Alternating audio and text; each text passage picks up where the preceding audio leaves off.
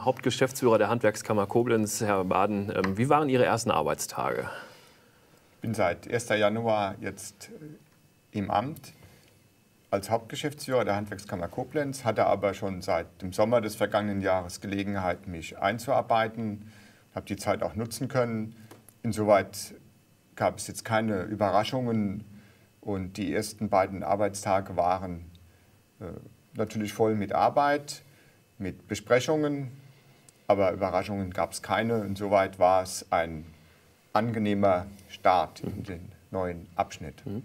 Herr Scherk, die Handwerkskammer Koblenz ist äh, bundesweit vielleicht nicht die, die, größte, aber einer der erfolgreichsten Kammern. Ähm, nun be bedeutet eine Veränderung an der Spitze auch immer eine Veränderung im Arbeitsalltag. Was wird sich ändern und was wird sich nicht ändern bei der Handwerkskammer Koblenz? Ja, zunächst haben wir ja eine Kammer, die gut aufgestellt ist.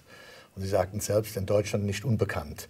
Äh, wir werden das, was wir für gut finden, entsprechend weiterentwickeln. Wir wollen auch spitze bleiben und wollen auch Dinge äh, verbessern, die wir erkennen, gegebenenfalls, äh, wo was verbessern ist. Wir wollen aber auf der anderen Seite auch unsere Tätigkeit und Politik etwas umstellen. Wir wollen wieder noch stärker und noch intensiver aufgrund der ganzen Krisensituation für den Betrieb da sein. Im Vordergrund für mich und auch für Herrn Baden steht ja, dass der Betrieb eigentlich die Urzelle der Kammer ist und die Kammer eigentlich für den Betrieb da sein muss. Mhm. Und deshalb wird das zunächst einmal unser Hauptarbeiten, Augenmerk beinhalten. Mhm. Herr Baden, das Handwerk ist Ihnen ja nicht unbekannt. Sie waren schon Hauptgeschäftsführer in der Handwerkskammer in Kaiserslautern. Sind das Erfahrungswerte, die man dann äh, mitbringt an den neuen Arbeitsort und erleichtern die den Start? Durchaus. War fast zwei Jahre Hauptgeschäftsführer der Handwerkskammer der Pfalz in Kaiserslautern und davor 15 Jahre Hauptgeschäftsführer der Kreishandwerkerschaften in Kaiserslautern. Das heißt, ich kenne das Handwerk von unten, von der Pike auf, weiß, wo das Handwerk der Schuh drückt. Und ich denke, dass wir auch hier äh, uns um die Belange der Betriebe kümmern können, dass wir die Strukturen unserer Arbeit ordentlich aufstellen können. Es entspricht ja auch dem Leitbild der Handwerkskammer Koblenz, den Wert Werte zu schaffen für die Betriebe, zum Nutzen der Betriebe da zu sein, vor Ort in der Region zu arbeiten. Mhm. Wenn ich das Stichwort gebe, Finanzkrise, Gesamtsituation, wirtschaftliche Gesamtsituation, wo steht denn das Handwerk in der Region am Anfang 2009, Herr Scherk? Also ich denke, äh, dass diese Krise eine große Chance beinhaltet fürs Handwerk. Wenn ich an die Beschlüsse der Bundesregierung der letzten Monate denke, die aufgrund der Krise entstanden sind, äh, dann kann man ja schon mal sagen, zunächst einmal sind die Abschreibungen verändert worden, es, ist, äh, es werden neue Mittel zur Verfügung gestellt. Jetzt das neueste Paket, über das diskutiert wird, sind die wieder die Investitionen in die Struktur. Das heißt, die Schulen sollen renoviert werden, es mhm. sollen die Straßen gebaut werden, es sollen entsprechend die Krankenhäuser entsprechende Zuschüsse bekommen. Das heißt, alles in allem, alles, was wir hier besprechen und was die Bundesregierung zur Zeit auf den Weg bringt, ist eigentlich Sache des Handwerks. Mhm. Und deswegen noch weniger der Industrie, sondern richtig des Handwerks. Und deswegen sind wir eigentlich der Meinung, dass wir sehr optimistisch die nächsten Monate angehen sollen. Das ist ein sehr positiver Ausblick. Nun ist die Handwerkskammer Koblenz hier in Koblenz zu Hause, das Handwerk hier auch, aber die Handwerkskammer Koblenz pflegt internationale Projekte. Das Stichwort Südosteuropa. Ähm, werden solche Konzepte zukünftig weiter verfolgt oder ändert sich was? Wir werden in Zukunft die Konzepte selbstverständlich weiter verfolgen, weil sie dem Handwerk hier in der Region ein Feedback gebracht haben, weil sie aber auch dem Handwerk in Südosteuropa geholfen haben, den Handwerkern dort geholfen haben. Ich selbst war schon während meiner Zeit, als ich noch in Kaiserslautern Hauptgeschäftsführer war, für die Kammer Koblenz in Sofia und in Plovdiv, habe dort entsprechende Vorträge gehalten und konnte erfahren, wie die Betriebe dort die Informationen, die man ihnen gibt, aufsaugen und dankbar sind dafür. Wir haben dort Strukturen angelegt über Jahre hinweg, die sehr effektiv sind und diese Strukturen wollen wir auch in Zukunft weiter zum Nutzen des Handwerks in Europa weiter betreiben.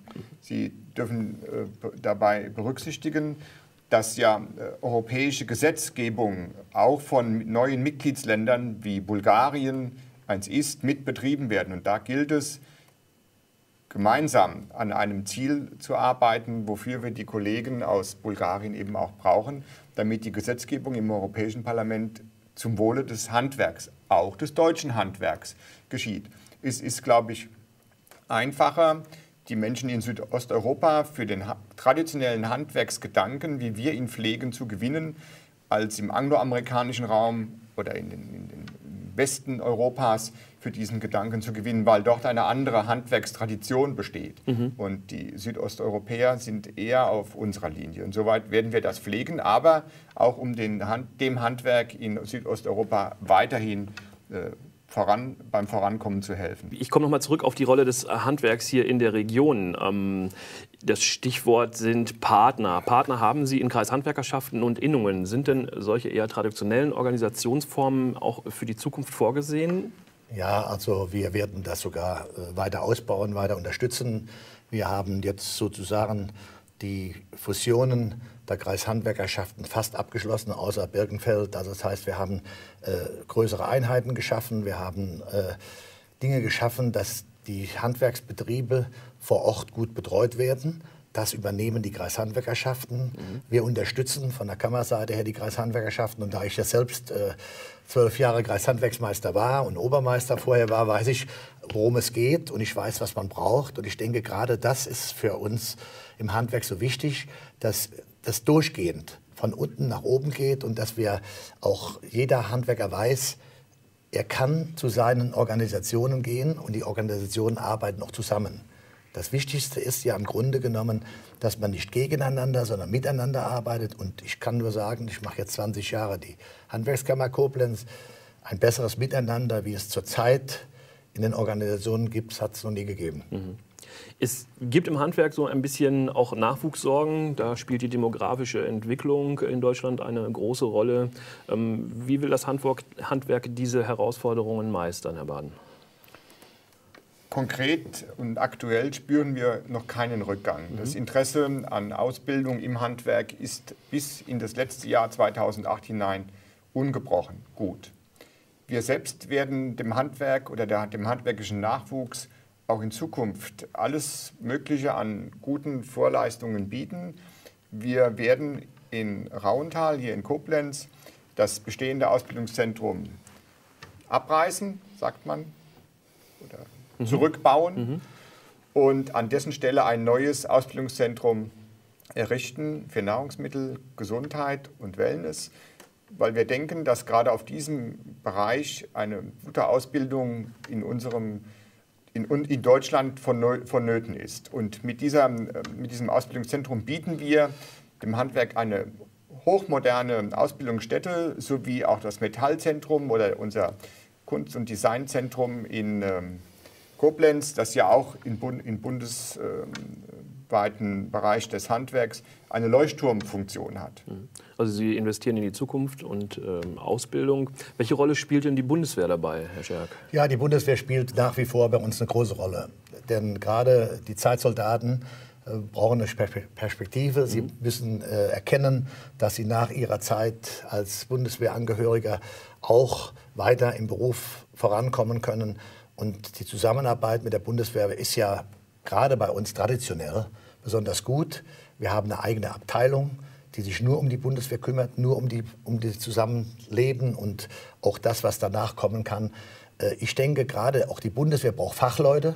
Unsere Lehrlinge, die bei uns ausgebildet werden, müssen letzten Endes auch ihren Wehrdienst machen. Also die Bundeswehr braucht auch gute äh, Ausbildungsleute. Äh, und vor allen Dingen, was ganz wichtig ist bei uns, Sie sprachen eben davon, wo kommen die Lehrlinge her? Es wird sich ja in der Gesellschaft auch, auch etwas ändern. Also viele, die studiert haben mhm. oder studieren wollten, werden ja überlegen, ob sie nicht vorher sich einen Beruf aneignen, ob sie nicht ihre ganze Lebensbasis etwas verbreitern. Und ich sehe darin auch die große Chance des Handwerks, denn Handwerk ist ja modern. Handwerk ist ja nicht irgendwo so, ich sag mal, so 0815, sondern Handwerk ist ja alles. Ja. Jeden Morgen, wenn Sie aufstehen, fangen Sie mit Handwerk an und abends gehen Sie mit Handwerk schlafen. Ein anderer Weg ist ja, und das scheint sich ja auch so herauszukristallisieren, ähm, der Weg Europa. Es gibt äh, Lehrlinge aus dem europäischen Ausland. Ähm, rückt das Handwerk in Europa näher zusammen? Ja, also vielleicht noch mal auf diese Aussage von Herrn Baden zu kommen, was äh, unsere Arbeit im Ostbereich Europas macht, ausmacht. Also wir äh, glauben, dass in den nächsten vier, fünf Jahren wir auch Auszubildende aus osteuropäischen Ländern mhm. haben werden, mhm.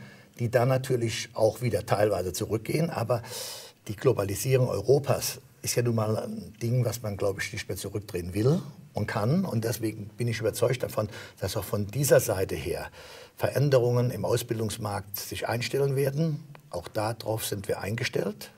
Wir sind ja wie immer eine flexible Handwerkskammer. Und als flexible Handwerkskammer haben wir natürlich auch die Lehrlinge der Zukunft im Auge. Mhm. Als flexible Kammer und als flexible Mitarbeiter in verschiedenen Funktionen hat man natürlich auch gerade am Jahresanfang noch Wünsche. Und das vielleicht die abschließende Frage, welche Wünsche haben Sie für 2009, was die Handwerkskammer Koblenz betrifft? Vielleicht Sie, Herr Scherk, fangen an. Ich wünsche mir, dass äh, wir A, alle gesund bleiben, dass wir eigentlich äh, diese Kriegswerdnisse nicht miterleben müssen, dass das möglichst wieder bald zu Ende ist. Denn mit Krieg kann man eigentlich die Völker nicht zusammenbringen. Und ich wünsche mir, dass es dem Handwerk gut geht, dass die Betriebe überleben und dass wir im Grunde genommen ein erfolgreiches Jahr 2009 haben. Mhm. Herr Baden? Ich wünsche meinen Handwerksbetrieben gute Geschäfte, zahlungswillige Kunden, fleißige und erfolgreiche Lehrlinge mhm. oder Auszubildende dann wünsche ich, dass alle Ihre Wünsche in Erfüllung gehen und äh, für Sie einen äh, guten Start. Ich denke, dass wir uns recht zeitnah hier wiedersehen. Sie sind herzlich eingeladen und danke für das Gespräch. Vielen Dank. Dankeschön. Dankeschön.